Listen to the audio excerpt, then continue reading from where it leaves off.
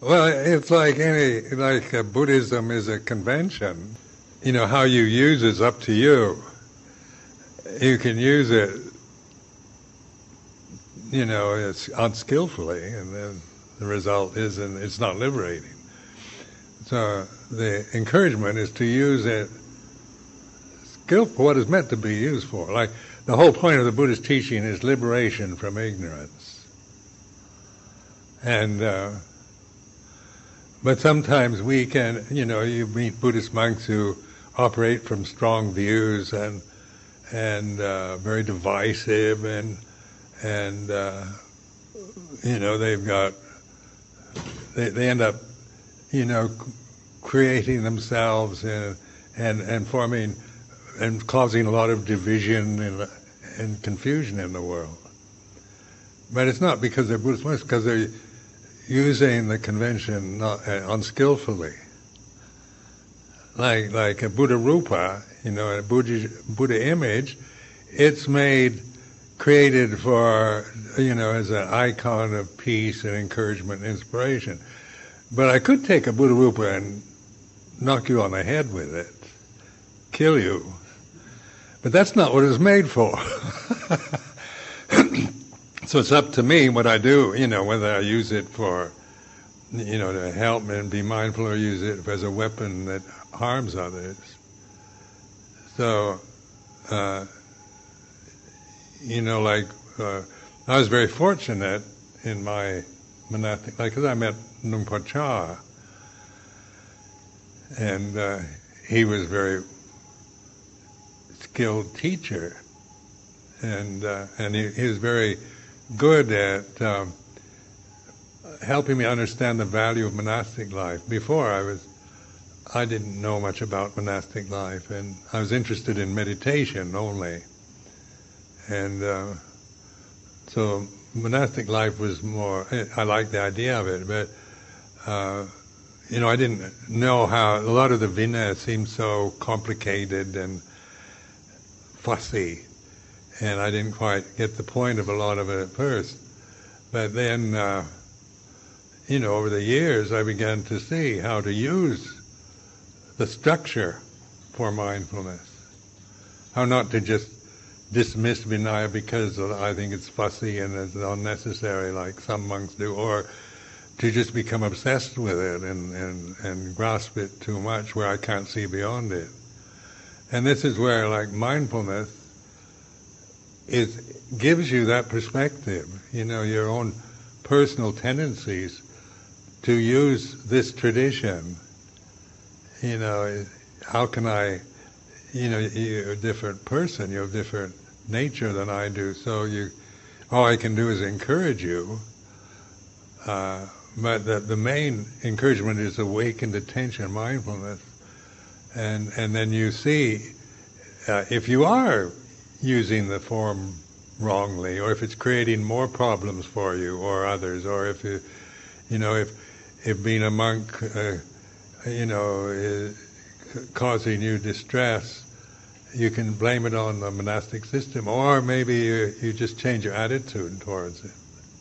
Because, like uh, uh, a Western, like coming from West Coast America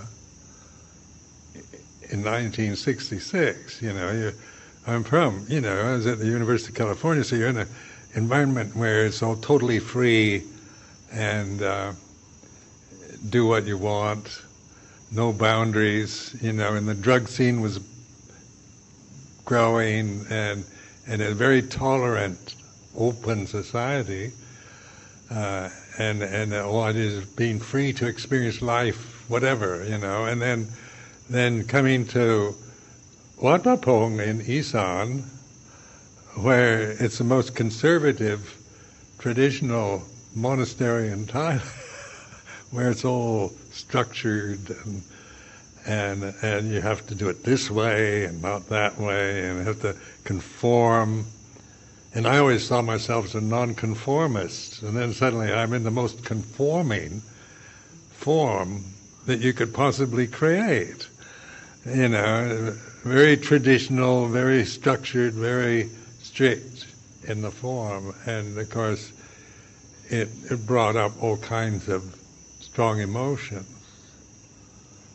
uh, that I I never had in California. But the aim of Luang Por Chah was was to observe, you know, because I couldn't understand the language. At first, I didn't, you know, I didn't understand uh, Isan dialect or Bangkok Thai either. So I, I was, I just have to sit there and listen to, to Ajahn Chah go on for five hours, you know, and uh, almost every evening. And um, and of course, you're you know you're sitting like this, papir. And at first, if you're not used to doing that, it's very painful. And and I never sat like that in California. And so I I uh, you know had a lot of aversion and anger. And Ajahn Chah said right from the beginning, your practice is developing patience. And well, I agreed with him because I realized I was I didn't. Patience is not a virtue in the states. It's like you know you you if you want something you get it now. You don't have to wait. And and then uh, Wat in those days was very primitive. You know, very basic, and was all about waiting and being patient and knowing your place, the most junior monk in the line, and and. Uh, all the things that would, would grate against the, my, my cultural conditioning. And the only way I could really deal with it was I could leave. You know, nobody was forcing me to stay there, but I, but I could also, I trusted Luang Por Chah. So I, I, and then his teaching, even though it was, I didn't understand, his, you know, his, uh, day, his talks Yet he was good at, at getting you to look at look at yourself, and I could do that. So by doing that, looking at my impatience and anger and all that, I developed more patience. So I, you know, I developed a lot of trust in Ajahn Chah because he wasn't telling me that I had to do things and and it wasn't scaring me. He was encouraging me to develop qualities that are necessary for understanding reality in a situation that that was very different from what I'd ever lived in before. But the thing that I liked about it was that I felt I was living a good life. I, I, I it was I admired monks like that, like Luang Por Chah and the monks that I trained with. They were, you know, they were admirable. The way they lived and their commitment impressed me. And, and I, I, and coming from a hedonistic life, I didn't feel that respect for hedonistic people. You know, the kind of free spirits in Berkeley could be charming and entertaining, but I didn't really respect it. And I didn't respect myself for living like that. So then the then the uh, more and more living with Luang Por Chah, I began to develop respect for what I'm doing and, and a kind of gratitude and and then the the whole form of, that was presented, I began to understand it better as I developed it and used it, and saw how how to use it.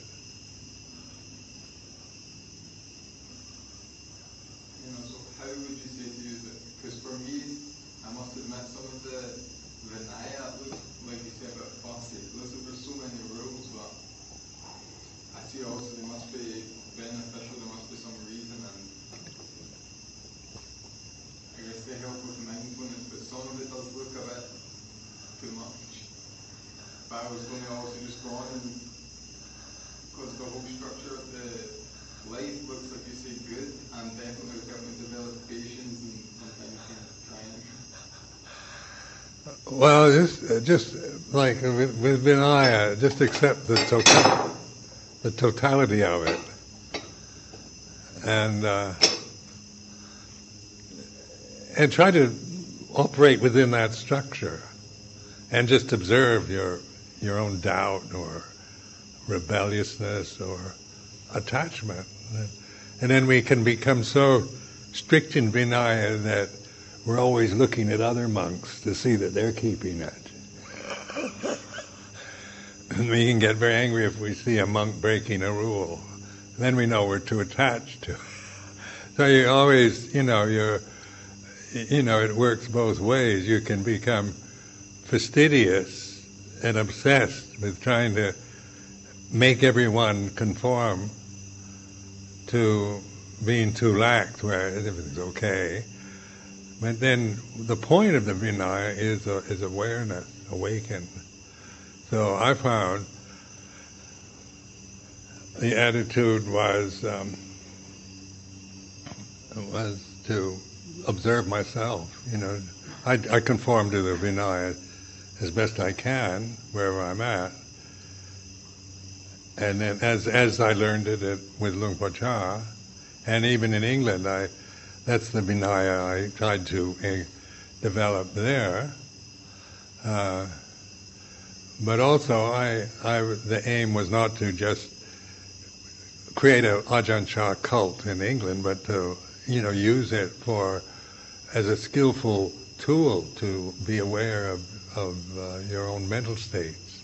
Because like being confined, being limited in in in action and speech. If you're from a society, and from a life where there aren't any limits, then then that limitation can be incredibly make one very angry or rebellious or frightened. You know, so so these are all mental states that arise, and and you and and then this awareness of them is is just to be aware, not to think that you should feel any other thing, but observe what you are feeling. And then, then the training within, like here at Nanachat, that is just to conform to the Vinaya. So they aren't asking you to do anything bad, you know. You're not ever asked to do something that is unwholesome. Sometimes you don't particularly want to do what you have to or what they want you to do, but you know, you're not you're not doing anything bad. And then, uh, and then, uh, but the main point is to observe the state of mind. and then, you know, like so, then you, you, if you, you know, then you become a Vinaya fanatic. Then you're always trying to make everybody else do it, and that's a very unpleasant mental state to be always looking at somebody else, worried they're going to do it wrong. And you look at that, that's a very miserable kind of mental state in your own mind. So uh, you just keep learning how to use forms like that. Because Dhamma is formless. It's all about letting go, you know. It's the ultimate freedom, letting go, freedom not attached to anything. And in, in America, they love that. You know, uh, you know, they think we're just a bunch of screwed up, attached, repressed, anal retentive freaks. because we're, you know, we're strict in the Vinaya. Or because Dhamma is about freedom and it is. It's about letting go, non-attachment. But then, you know, in the in a traditional form, uh, it's uh, the, when the Buddha was passing on, and his attendant Ananda said, "What will we do without when you're dead? When you're gone, who will teach us? We won't have any teacher." And Buddha says, "I leave you the Dhamma," and then he said, "And "The Vinaya." Lavinia has all this form, you know, rules from, you know, from severe things to little things. And and so then uh, in the West, like in Britain, they love they love Dhamma teaching, but Vinaya is not not highly appreciated because it, it's it goes against this idea of freedom. It's about restraint and and and restriction. But at my age now, you realize the wisdom behind that because uh, freedom is this realm is is like this. It's not a free realm. We've got so much pressures on us just from the aging process, from loss, from the changing weather, the climate change, the political changes, political cha- economic problems, family problems, personal crises, and on and on like that. You know, where's the freedom? We've always got tension, stress in our lives, and and that's what people talk about now is stress. Uh, you know, I even interpret the First Noble Truth, some monks, as stress because uh, stress is, you know, the, with all the uh, fa- fantastic technology, it creates more stress. And uh, like this morning, my iPad, the internet, the Wi-Fi didn't work. I could feel stress that I never felt when I didn't have an iPad.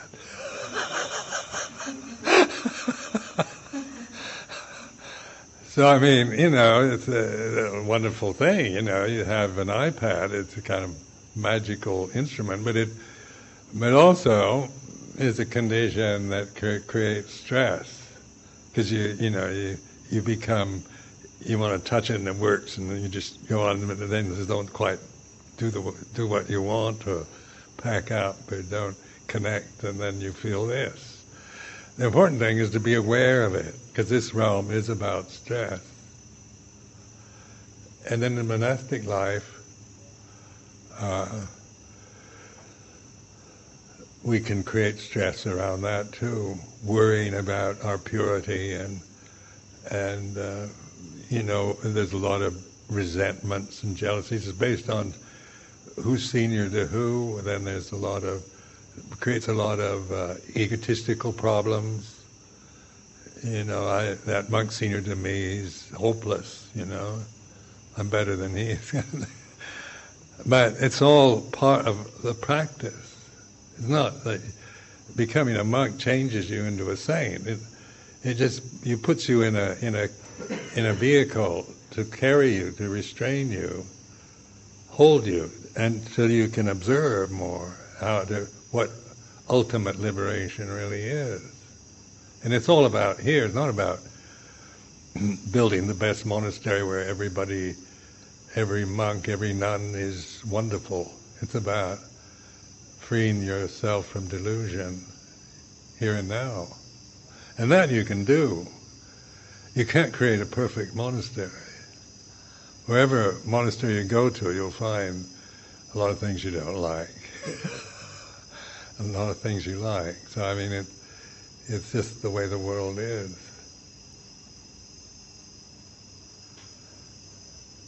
Like uh, wanting, you know, like American culture is about ideals. It's about how things should be. So so you're very, you, you, know, you're very much aware of, of, you know, how things should be. Uh, and you can create an ideal in your mind, which is perfect, you know, about a political system that's totally fair and just, and and a society where everybody's equal, and and that like communism was in the previous century was offering that. You know, it's kind of ideal, uh, idealism carried to to a high level, and uh, but it wasn't based on dhamma, on reality. It was based on American, on uh, human ability to create ideals. But this is not an ideal realm. This is the way it is. You know, it's a changing realm. It's not what it should be, but it is the way it is. So, like mindfulness, then is is your ability to observe that, to not to always try to change it to fit, to try to conform to some idea you have, but more aware of the way things actually are and what being human is, what being a man is, what being a monk is, is like this. And it's not about becoming anything, it's about recognizing. Then the form itself, since we all agree to it, the Bhikkhu you know, so we're all agreed to live within this restraint, then we have a lot of, uh, it's very bonding in its own way. You know, you, you, you can trust it. You know, living in a Buddhist monastery, you can take a lot for granted. You know, the, the people in it are doing their best to be honest and trustworthy. In a society that people are paranoid and suspicious.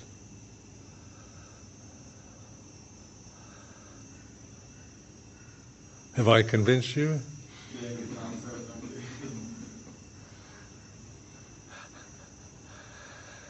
I'd be a good salesman, wouldn't I? Yeah, I